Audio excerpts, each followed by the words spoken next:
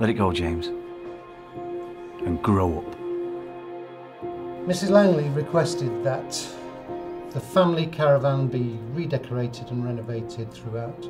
This work to be completed by, well, by both of you. You're going to be around here long? Not if I can help it. You're pushing your luck, kid. Don't kid me. Let's get something straight. If we're going to do this, then we're doing it my way. Well, then we ain't doing this. I was just saying it's nice to see it being done up at last. Maybe the owner got sick. Couldn't keep up with it. James. Let's just stay out of each other's way. She is beautiful, though, isn't she? Eh? She is, yeah. Go and see someone. You're not right in the head. Come on.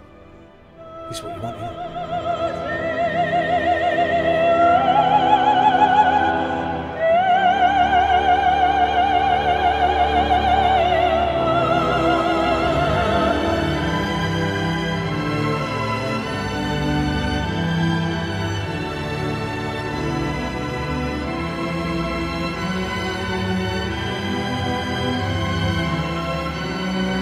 Why was rugby more important than your own wife?